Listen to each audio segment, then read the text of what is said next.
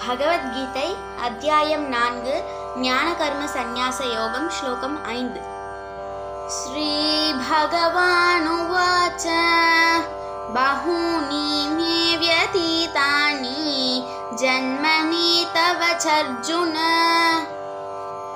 तन्यहां वेद सर्वाणि न त्वं वेत्थ परन्तप श्लोकम् आरु अजोऽपि सन्नव्ययात्मा भूतानामीश्वरोऽपि सन्।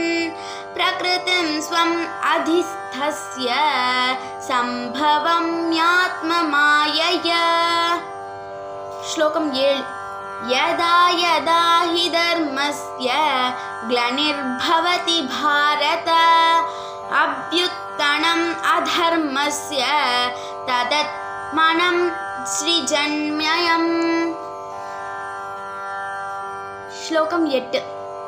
परित्राणाय साधूनां विनाशाय च दुष्कृतां धर्मसंस्थापनाथाय सम्भवामि युगे युगे